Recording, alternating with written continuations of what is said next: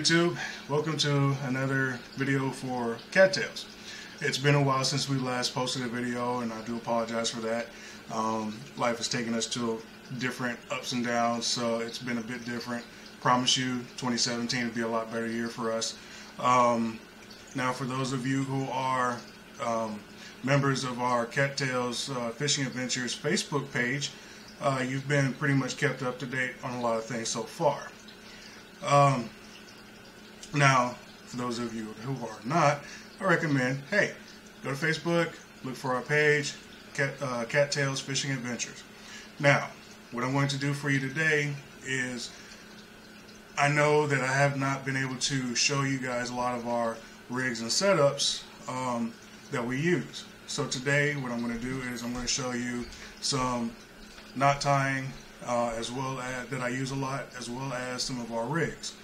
So that way hopefully hoping that it would help better enhance your fishing uh, your fishing days and um, so you get a, pretty much get a gist of what we're using and how we use them. Alright so first thing I'm going to do is show you some knots. Um, not going to get fancy with them. Um, not going to do stuff like uh, how we used to do out there on the sea and do like a bimini twist or anything like that. Anything crazy. Just plain and simple, something quick that you can do out there on the water, spur of the moment. If you lose a rig, boom, tie it up real quick and be done with it. All right, so first thing we're going to do is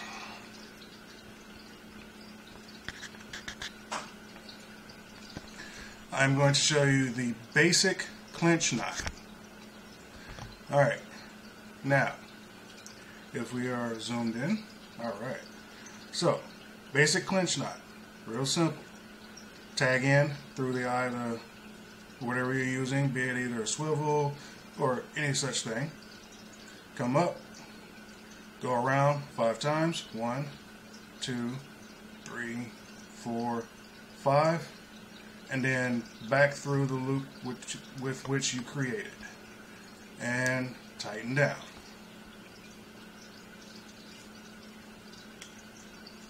That is your basic clinch knot.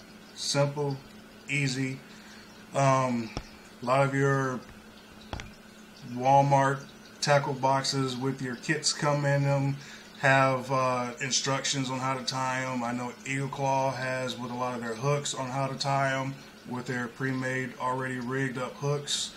Um, it's just basically that's just quick and simple. That is your basic clinch knot. Now, what I'm going to show you, I am now going to show you um, what is the next step for the basic clinch knot, which is the um, improved clinch knot. So, and I will show you now how to improve it. Now what you do is you take your tag end, go through the eye of a swivel, come up, give you give yourself some nice little bit of tag end, hold one in, bring the tag end back down. Now you have what looks like an S. Now with that, holding this, you're going to start wrapping anywhere from three to five times. Two, three, four, five. Now what you're going to do is you're going to take the tag end and come back through this loop that you're holding. And pull both tight. Once you pull them both tight, cinch it down.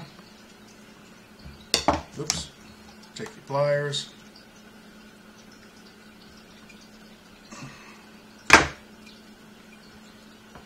And there you have it, the improved clinch knot. This is actually one of my favorite ones to do um, next to the Palomar knot. Reason why is because it is actually a very, very strong knot. There is nothing that will break that knot.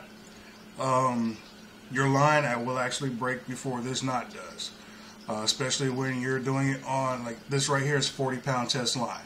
So with this 40 pound test line, uh, either your line will break first or your swivel will break first. Uh, preferably, neither one will break for you and you can get your fish. Now, the thing with that is um, there's many applications for it. You can utilize it for tying your swivels, uh, tying on your weights, uh, anything of the such.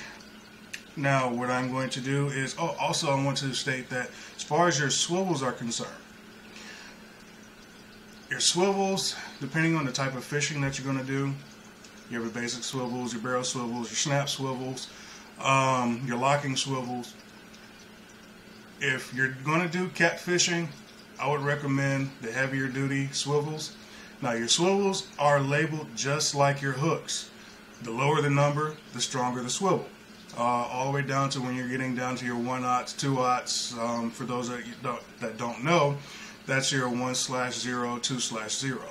Now, and those usually you find a lot of those like Cabela's or Bass Pro Shops um, for a lot of your saltwater fishing. But now with the, the introduction of bigger catfish in a lot of these uh, different lakes, so you want to go to a bigger swivel so that way, because what happens is if you use like say this right here, this is a, I believe this is a five.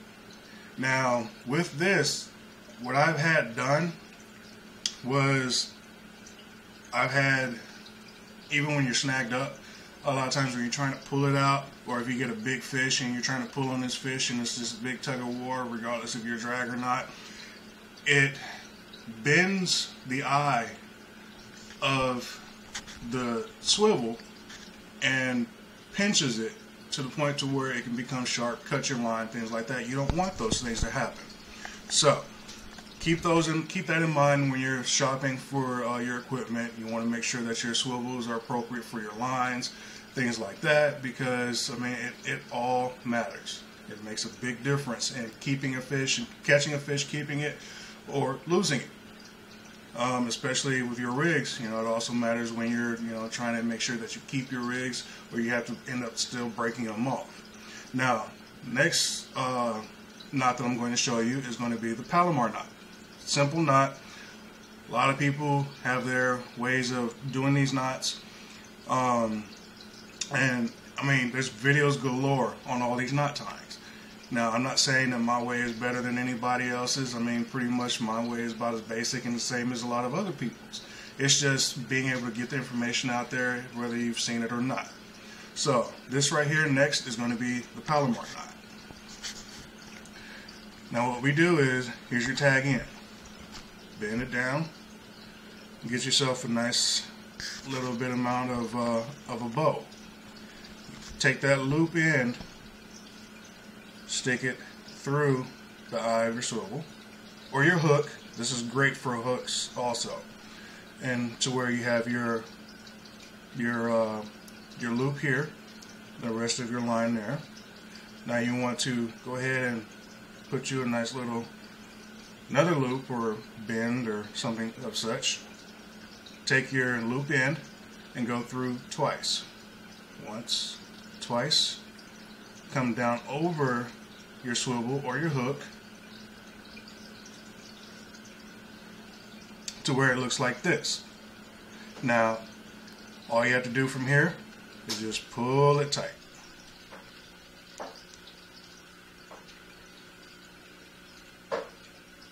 And there we go. That is your Palomar knot. Now, and then all you have to do here is cut off the tag end and you're set. This right here, ladies and gentlemen, has been dubbed the strongest knot in fishing. So when you're out there on the lake and you want to make sure that everything is the way it's supposed to be. Um, to your main line, I would do your Palomar knot. And then to the other end where your hook is going to go, I would do the improved clinch knot that I showed you. That right there is two of the strongest knots that I think would more than do the job for a lot of the stuff that we have here. Now, I am going to go into the different rigs that we use. Rigging is a matter of choice between you know what you like or what you don't like, or how the fish are, um, if they're biting on the bottom, or if they're uh, feeding somewhere mid column or just off the bottom. It all depends. That's what determines your riggings. Now, two of my favorite rigs that I uh, that I love to use is your slip sinker rig or your Carolina rig, and your three-way uh, swivel rig. Now, first thing that I'm going to show you is this three-way swivel rig. Um, we're going to pause right here for a moment. All right, so starting to get low on battery, so I'm going to try to make this as quick as possible for you guys. All right, so here we're going to get three-way swivel rig. Um, now, one of my favorite ways of doing this three-way swivel rig is also known as the breakaway rig. That way you can worry about more with fighting your fish instead of if your weight gets hung up or caught in the rocks or anything, you just pop it right off and still fight your fish. Um, I know a lot of people don't implement that here. Um, I think that they should with this, you know, with as much rocks that we have, uh, with the with the dams and um, you know different little places that are very rocky. This will come in handy when you're fishing. Catfishing, if you're not fishing in structure, you're not catfishing. So basically, this right here is perfect for a lot of your catfishing uh, abilities. Fishing in structure, so that way if your weight happens to get caught up on something, pop the weight right off, uh, and you still fight your fish. Now here I'll show you. Here's your basic three swivel rig. Now generally what I'll do is your main line will go here and I'll tie my main line right on with the Palomar knot. And I'll do that real quick for you.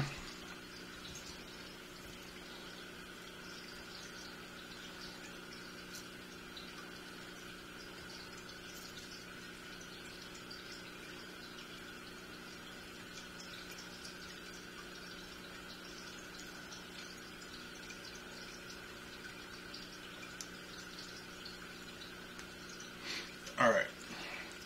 There, let's say this is your main line, straight to your reel. All right. Now, here, actually, here is where your weight will go. Now, for, I'd say for 20 pounds, 20 pound line, I would go with between 6 and 12 pound test to be an easy breakaway. 6 pounds should be definitely good enough. And to offset how I would do that would be get about 24 inches of line. Okay. Double it up. I know it's thin, so you might not be able to see it. But once you double it up, take both ends, slide them through the bottom end of your three-way swivel rig and tie a regular clinch knot. One, two, three, four, five. Take both ends, stick it through the bottom eye of the loop that you've made. Pull tight now my six pounds has now become 12 pound test line. And still, if it gets caught up in anything, if it gets caught up in anything, it's easy to break away. Now also, and then as far as your the length, you can always adjust it if you don't want it this long. Now, lastly, what I will do is at the very end, I would make a loop which is almost like a Palomar knot. You double it over, take your loop end, come through twice, once, twice, pull tight, and now you have your loop for your weight, which all that is is it slides right through the weight, come around the weight, and pull tight. So here, if you want to pan up, is your three-way swivel rig, main line, your swivel, and your weight. Now this right here, as it stands, I have a five ounce weight. This right here, this six pound test line doubled over like this will cast this five ounce weight without popping it. And then all you have to do is tie on your hook with the basic clinch knot, I mean the improved clinch knot. and you're good to go on a three-way swivel rig with the breakaway. Now, real quick, I am going to show you how I snell my hooks. Real simple. You have the quick and easy way, and then you have the long and painful way. Long and painful way is when you have your hooks that have this little bend in it. Now this bend is good for keeping your snell on there, but I would never pass it through the eye and do it the way I'm about to show you, which is I take the line, gives about so much, make a loop, and then wrap it with the tag end about seven or eight times.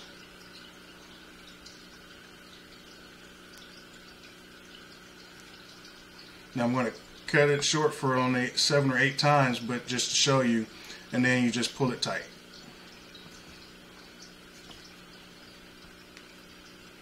And that'll be pretty much how you snell a hook. That's just with three wraps around it. Now we're going to go and do another way, which I will give all credit to Steve Douglas and one of his hosts from a fishing show. I love how he explained it. I love the idea and principles behind it. Um, main thing. First thing you're going to do is when you hold the hook, you're going to take your tag end and go towards the back end. And lay it flat directly on the back end of the hook. I'm going to need some line. Cut that.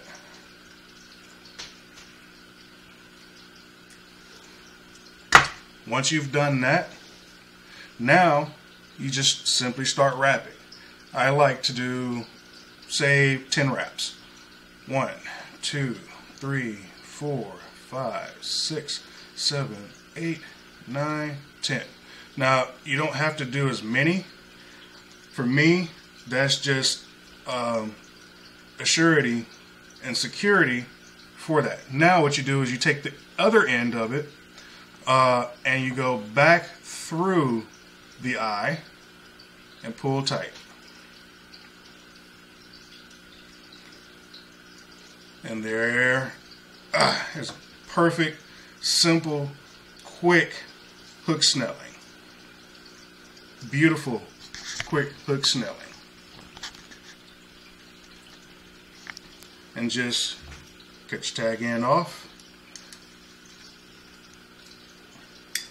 Now some people don't like it because if perchance your knot was to slide forward, everything comes unraveled. Um, but I mean, when you get in there and you pull it tight, that's it. It's stuck. It's done. It's in there. Now, the other best part about that is once you do so, you know, for your lighter hooks, it's going to go and it's going to pop forward, and that's what you want because when you go across, you see how it comes into my skin. That's what you want. Circle hooks, perfect for circle hooks because that comes and goes right across into that fish's mouth, and it's in there. That's the that's what you want by starting it and doing it the way I just showed you. As opposed to if you did it the opposite way, now you're not going to have that, that grabbing ability. So, with that, in, with that in mind, that, the three-way swivel rig, the three-way swivel rig, and the Carolina rig with the no-roll sinkers are two of my favorites that I use a lot. Um, a lot of people state that before you put your swivel on that you want to put a bead on there uh, in front of your um, your no roll sinker, I'm like this. I can put a bead on there. Now these beads come from a lot of your packs like this right here for your sliding bobbers and I mean you can buy just regular beads to go uh, I mean there's separate separate bead packs that you can do for that as well uh, to protect your knots. For your no rolls that hole I don't believe I've never had a problem with this destroying or hurting my knots. Um, it, the holes are too small for one. Um, another thing is if you end up casting too hard or you set the hook on a, like you know if you're using a J hook and you set the hook hard on a fish or anything you know of such that bead is going to break. It's just going to crack right in half and break and you're not going to have it. So what's you know to me it's just that's just added extra waste of money when you don't really need it. Now some people live by it. Me personally you tie a good enough knot you're not going to have to worry about it Palomar knot, improved clinch knot, those two right there, time honored, year after year has always worked, has never failed me. So, you know, these are the things that I want to impart upon you so that way hopefully uh, you, you can also have a better fishing experience. So, before my battery dies, I'm going to thank you all for watching, like and subscribe, and stay tuned for more videos hopefully for if not this year we are in december um, january and february definitely is going to start popping off on a better fishing adventure for us um, and i also want you to stay tuned you know that i have this viper dip base that i've been trying to develop um, i have one to where i am trying to see if i can get it to where it's going to give you the freshwater catfish grand slam. I mean, that's channel cats, blue cats, flatheads. Flathead catfish on a fiber dip bait. This is what I'm working on. So be sure to stay tuned for especially that. And wish me luck. Hopefully it'll work.